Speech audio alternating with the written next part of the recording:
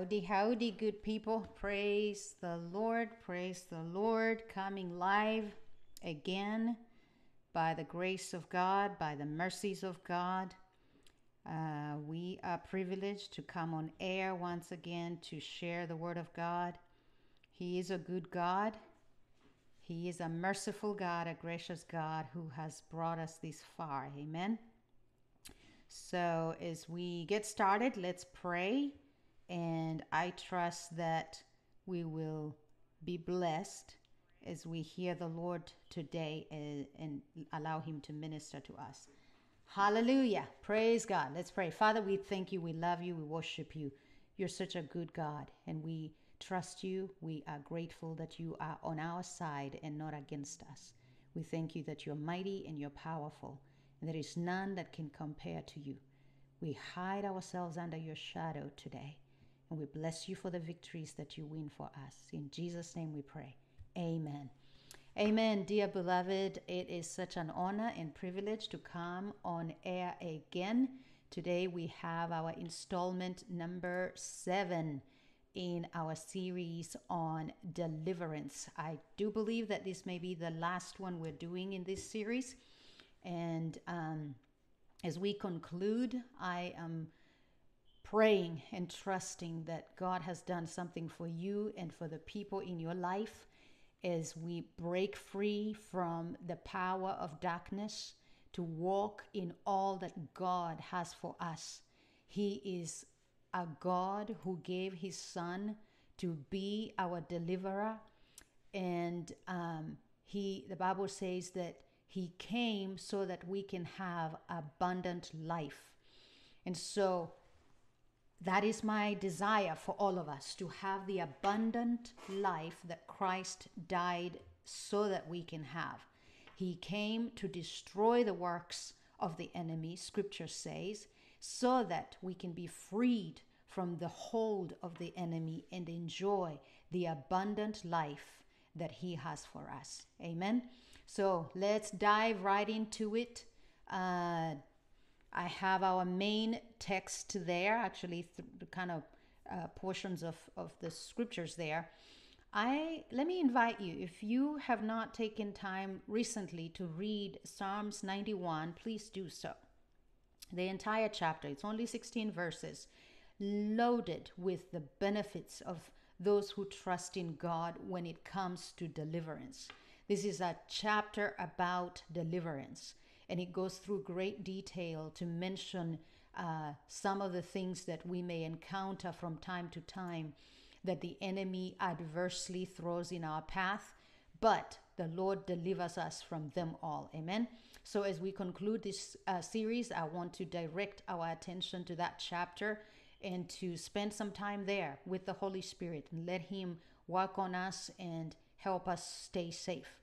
All right, so the first verse, obviously, Psalms 91, verse 1, it says, He who dwells in the secret place of the Most High shall abide under the shadow of the Almighty.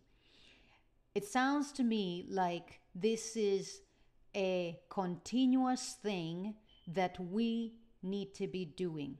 To dwell means to live in or to, to abide in, to be constantly under the cover of something. If you dwell somewhere, it means you live there, it means you spend your time there. And so there is this uh, message in the scripture, this word of God in the scripture, admonishing us to live in the secret place of the Most High that means this is a place. This is a, a location that you and I can be in at all times. It is not something we slip in and out of. We can purpose to stay there. We can purpose to abide there. We can purpose to dwell there. And those that do, they are under the shadow of the Almighty. That means the Lord shields them and covers them. Amen. Amen. And who better to cover us and protect us than the Lord Himself? He is the Almighty. In other words, there is no might and no power above His. He's got it all. And if he's got it all, that means he can put down anything else that comes. Hallelujah. It means he can quench and overcome and overthrow any other power out there. He can neutralize any other power, any other authority out there. He is the Almighty. And so we are challenged by Scripture to live in this place. It, and it calls it a secret place. Secret means it is not easily identifiable to everyone. It is for the few who make it a dili- who take a diligent effort into finding it, right? And that's why the, the Bible, I believe it's in Proverbs, where it says, "Is the is it the pleasure of a king to conceal a matter?" and those who are wise look for it and find it. Hallelujah. It is that the secret place of the Lord is not evident to everyone. The secret place of the Lord is only to those who seek it. Remember that game you would play when you were younger? Hide and seek? You didn't hide in openness, you hid yourself in a secret place where the other person, the other friend, the other cousin, the other sister you were playing with could not easily find you. It, it, it means we need to go into this place within God that other forces cannot easily find us. It is a secret place in the Most High. It is not obvious to everyone, it is not easily identifiable to everyone. Hallelujah. Remember how he tells Moses, and I would have to find this verse later, but but he he says he says, I will hide you in the cleft of the rock. There is this little crack, this little cleft in Jesus, the rock of ages, where you and I can hide, where you and I can take our safe retreat away from the wandering of the enemy, seeking whom he may devour. There is this place in God where you and I can take refuge and the enemy cannot easily spot us. It's not a place we need to just frequently in and out, frequent in and out. It is a place we need to purpose to stay. Hallelujah. Bless the name of the Lord. Abiding there in the shadow of the Almighty, in the cleft of the rock. And here's what the psalmist says in Psalms 32 and verse 7. He says, You are my hiding place. Hallelujah. You shall preserve me from trouble. You shall surround me with songs of deliverance. Here is a man, a woman who is telling the Lord that he has found this place in God where he can take shelter and hide. And right there in that place where this person hides, the Lord preserves him from all trouble. Bless the name of Jesus. There is a place in God that you and I can go to and be preserved from all trouble that's going on around us. That's why Jesus is on the boat with his disciples. They are crossing a tumultuous sea. Somehow, in spite of the storms, he is able to quiet himself actually and go to sleep. And the disciples get so frantic, they come to him and they run. Master, do you not care that we're about to perish? I'm telling you, it could be going, they say, to hell in a handbasket out here. And you could be completely at peace, asleep.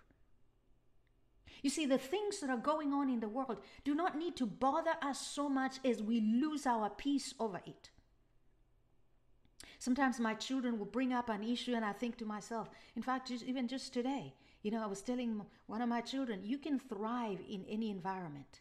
It really doesn't matter. You have to begin with the right perspective. You have to begin with faith in God. You have to begin with a mindset that is uh, uh, the mind of Christ, a mind of an overcomer. And you can thrive in any environment. I kid you not. That power is in Christ Jesus. You can rest peacefully and go to sleep in the middle of a storm. Praise the name of Jesus. There is a hiding place in Jesus where no trouble can find you. There is a hiding place in Jesus that you and I can go to, and we will be surrounded with songs of deliverance. Songs of deliverance are not sad dirges. Songs of deliverance are not funeral songs of sadness. Songs of deliverance are not pain and traumatizing songs. You know, sometimes we have to get away from singing some of these pain, pain, painful songs because they, they re-trigger us. You know, they keep us in this place of, of, of continuously, perpetually being re traumatized. See, that's why I don't like to sing about my problems. I don't. Praise the name of Jesus. One time, you know, I, I, I, I and this is how this actually happened. I was, you know, you go to YouTube, you can listen to any song, and and and I was listening to a particular song, and the Spirit of God ministered to me. He says, Notice how this person has been under so much pain that that has become their song. Almost every song this particular person sings is retelling and recounting the pain. Hmm? Some of the country songs have those, you know, a, a, a lover that left them, you know, they, they're drunk and fell on the side of the road. Those kind of songs, you know what I'm talking about? They re traumatize you. We have to get away from that. Those kind of songs cause the pain over and over again. We have to get away from those kind of songs. If you're going to be delivered, if you're going to be set free, if you're going to be restored, if you're going to be in a place of victory in the Lord, you're going to have to get away from these things that re traumatize you. There may be a time or, or, or, every now and then, maybe you're giving a testimony that you may have to tell somebody about that. But when you sing these songs that bring you to a place of pain over and over again, there is no redemption in that. There is no salvation in that. That's why I don't sing every quote unquote gospel song out there. I'm very meticulous in picking the songs that I sing. And every single child of God ought to be careful about that point. That was a by the way. Nonetheless, there is a place in Jesus where we are surrounded with songs of deliverance, where we declare the power of our God. We declare and reaffirm the almighty saving hand of God. And there are songs that energize us, there are songs that catapult us into a place of victory. Hallelujah. Bless the name of Jesus. I'm going to move on right. And, and I already mentioned, read the whole chapter of Psalms, but I'm going to skip through that. Or maybe I should just highlight a few things. You know, as you walk down or read down through that chapter, it talks about being delivered from the snare of the fowler. Every trap that the enemy lays in your path, you, path, you will be delivered from that. From the perilous pestilence, Every sickness out there, the pandemic, we're literally coming out of that. Bless the name of Jesus. God can keep you and deliver you out of that. He will cover you with his wings, the scripture says. You can take refuge in him. He becomes your shield and your buckler. Hallelujah. So you won't be afraid even when you are faced with darkness all around you. Everything that happens in the day, the sun won't smite you by the day, neither will the moon at night. Bless the name of Jesus. Indeed, a thousand may fall on your one side and 10,000 on the other side. We know how many people we lost in the pandemic. Everybody coming out of the pandemic better sing this part of the Bible, telling how a thousand have fallen on our side and 10,000 on the other. But here we are preserved of God. It is not because we were any better. Trust me, I've seen young people die from this pandemic. I've seen older folks die. I've seen 97 year olds fight this COVID off like nobody's joke. It's not about the person per se, it's the hand of God over these people, the hand of God of our lives. and then we'll move on. Because you have made the lord your refuge and your the most high your dwelling place no evil shall befall you. Ah any plague will not come near your dwelling place. Hallelujah. Hallelujah. He will give his angels charge over you. They will keep you in your ways. Even the, eh, the devil used this verse to tempt jesus. But he knew better how to apply the scripture you don't put yourself you, you don't take an, an unsafe action and then say, Lord, give your angels charge over me. I'm telling you, if you jump off a building, you're going to die. That's what the enemy was trying to tell Jesus to do. Oh, do not tempt the Lord in that. Don't put your hand over fire and say, I'm not going to be burned. Of course you will. Of course you will. And it won't be because God has ceased being almighty. It'll just be because you and I have decided to be foolish. anyway, in their hands they will bear you. You will not dash your foot against a stone. You will tread on a lion and a cobra, and, and the young lion and the serpent. This speaks of the powers of darkness. There are many times that, that when you are under the cover of the shadow of the Almighty, you may accidentally tramp over these things. You may inadvertently come, uh, be confronted with these things, but the Lord keeps you in that. Verse 14 is where I'm going, 14 through 16. Because, and, and it says, because he, meaning that person who has set his love upon God, the Lord says he will deliver that person. He says, I will set him on high because he has known my name. He shall call upon me and I will answer him. I will be with him in trouble. I will deliver him and honor him. With long life, I will satisfy him and show him my salvation. You know, it is the salvation of God to be able to live a long life. There are too many odds against our lives. There are too many, many things that could have taken us out. But to be able to live a long life, a long, fruitful life, Sometimes I look at my grandparents and I think, this woman is still, I mean, he's, she's 90 something and kicking hard. Nothing is going to slow you down. If your hope and your trust is in the Lord, He becomes your salvation, He becomes your song.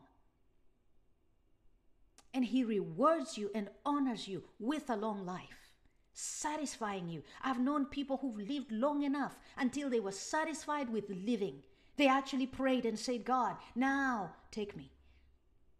Wouldn't you love to come to that place where you've checked off all the bucket things, bucket list items in your life? Where you've seen your great, great, great, great grandchildren? And you're satisfied with this life until you say, okay, now, Lord, I'm satisfied. God can grant you that. He can deliver you from all this adversity and all these uh, antagonizing issues so that you live a long, fulfilling life. Amen. So here's here's what we need to do to get to that place. Uh, you know, we mentioned we need to dwell in the secret place of the Most High. That will help us abide under the shadow, under the cover, under the protection. In those few verse, last verses of 91, he says, uh, uh, uh, because he has set his love upon me. Let me ask you this where is your love set today? Where is your heart beating for today? What is it that that causes your heart to like just thrillfully skip a bit? What have you set your love on? Is it Jesus or something else in this universe? If you set your love upon Jesus, if you can love him more than your mother, more, love him more than your children, love him more than your job, love him more than anything you own. That's why he says that when we love him, we have to love him with all our heart, all our soul, all our might, all our strength. It, it simply means living your life in complete alignment with the authority of Jesus Christ. Living your life in alignment with the power and authority of Jesus, allowing that power and that authority to flow through you.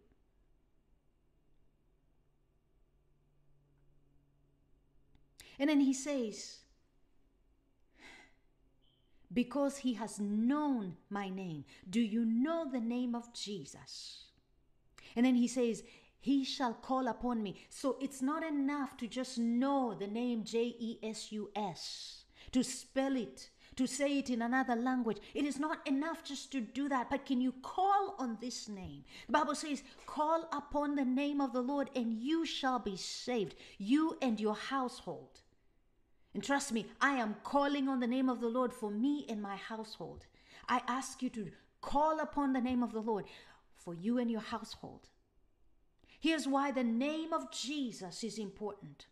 Scripture says in Philippians 2 10 and 11 and Romans 14 11, it says, Every knee shall bow and every tongue shall confess to God.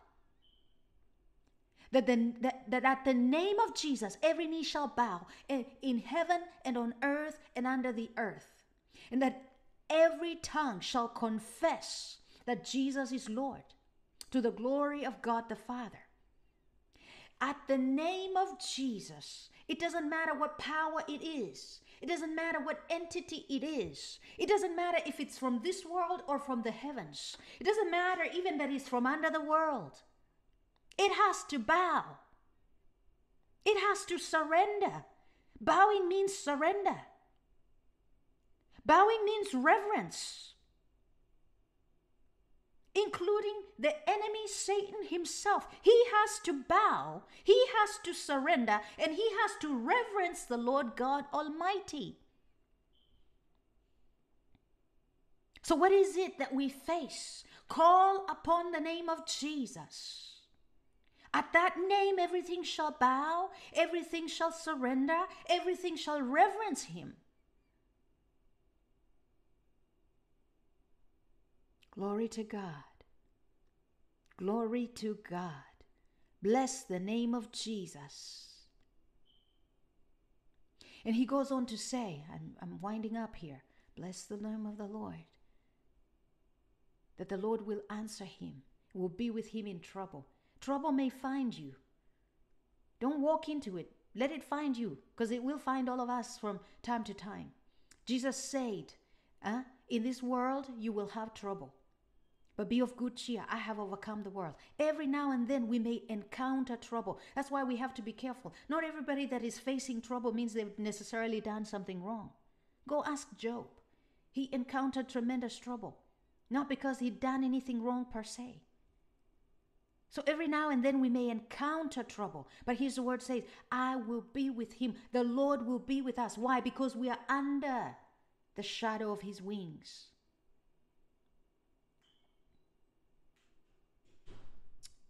Thank you, Lord. Thank you, Jesus. Thank you, Jesus. And here's what I'm going to say. Many times, the enemy, you may encounter victory and the enemy will go away. But remember, it's for a season. I believe it's in Luke where scripture says that he, he left Jesus until an opportune, to return at an opportune time. And elsewhere it says sometimes that the enemy leaves and then he comes back and if he finds the house cleaned and, and, and not occupied by the Holy Spirit, I'll just put it that way, he goes and finds seven more wicked eh, demons to come in. So when, when you clean your house, fill it with the Holy Spirit. Dwell in that secret place until every part of you is emanating the presence of God.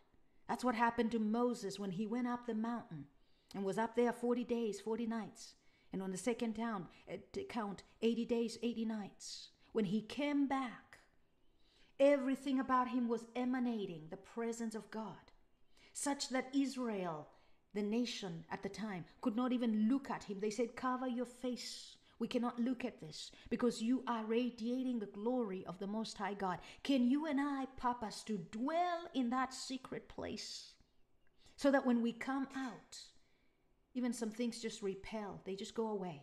They just hide themselves from us. Hallelujah. What dwelling in the secret place of the Most High does for us is it allows the Lord to be our constant companion and help. It allows the Lord to be our constant companion and help. Glory to God.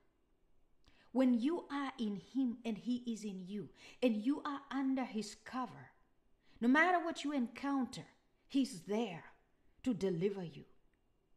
He's there to save you. The psalmist says in Psalms 46 and verse 1 God is our refuge and strength, a very present help in time of trouble. Because listen to me, my sister and my brother, trouble may come from time to time. But if you are in the secret place of the Most High, if you are right there, dwelling and abiding in the Lord, He will be your deliverance in the day of trouble. He will be your Savior in the day of adversity. Deuteronomy 20 and verse 4 says, For the Lord your God is He who goes with you to fight for you against your enemies to save you. Woo, I love that verse. For the Lord your God is He who goes with you to fight for you against your enemies to save you. When He is your companion, it is He who fights against your enemies to save you. Let's pray. Father, we thank you. Oh, thank you for this great deliverance. Thank you for teaching us how to walk in deliverance every day of our lives, how to be freed from all captivity in every area of our lives. Lord, it's as simple as calling upon your name. And, and there are many practical ways in which we can do that. How I pray that Holy Spirit, you will remind us these things every day of our lives, that we may be delivered, that we may be set free, that we may walk in victory. Thank you, Lord, for being our constant companion and help, fighting for us against our enemies to save us.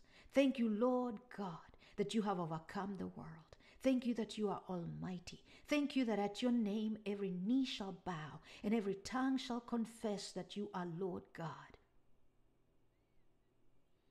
Go before us in every area of our lives, Jesus, and help us to walk in the life of deliverance. In Jesus' name, amen.